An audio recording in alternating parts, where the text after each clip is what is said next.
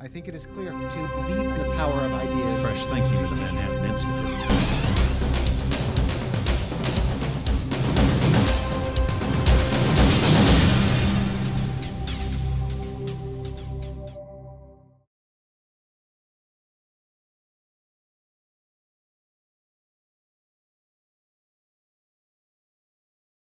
Thank you, everyone, for coming, and welcome to this event.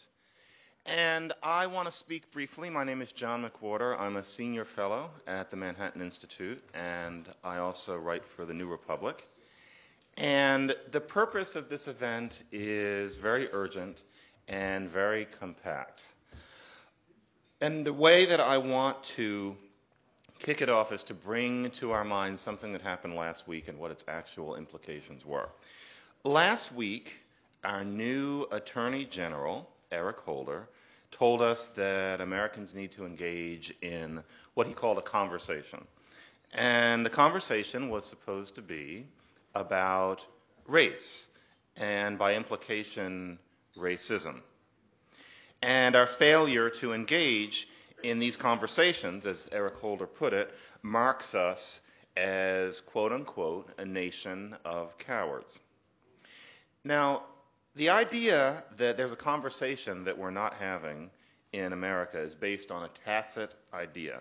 And that tacit idea is, to a great extent, that what whites are supposedly so afraid of is learning that deep down they are still racist. The black person in what's being called a conversation is the teacher.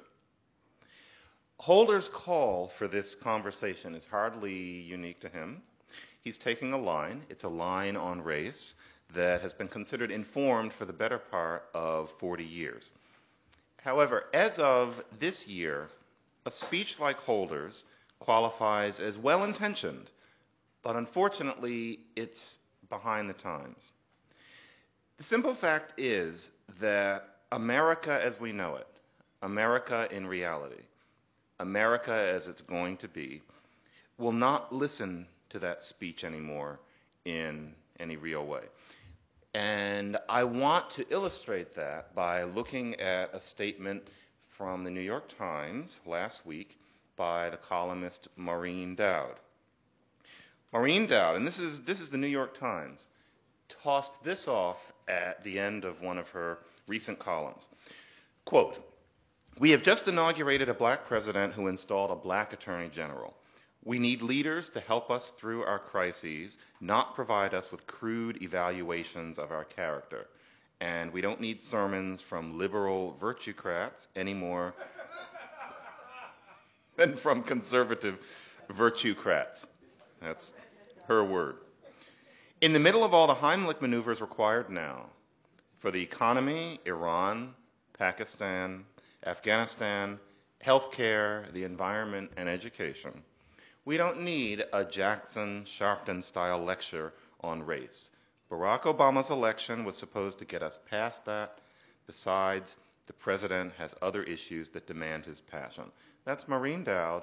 That's the New York Times. And that's something that she said at the end of a column as kind of a toss off. She didn't think of it as big news. And that was her opinion.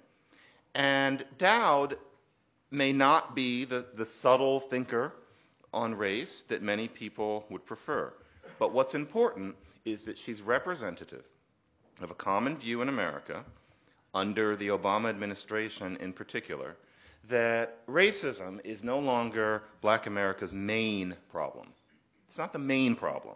Doesn't mean that it doesn't exist, but it isn't the main issue anymore. The rhetoric of the past has lost its effectiveness, and this is what's important it's unclear that the fact that that rhetoric has lost its power is a tragedy. The President of America is Barack Obama. The President of America is black. And if the racism that America is all about, as some people would say, is the kind that would allow a black man to become president, that I'm afraid that the nature of the all about has become a little too abstract for me. And I suspect that that's true for a lot of other people. It's time to change the discussion. The issue is not whether there is still racism. Of course there is. just as after you sweep up a patio, if you bend down and look up close, there's still dirt.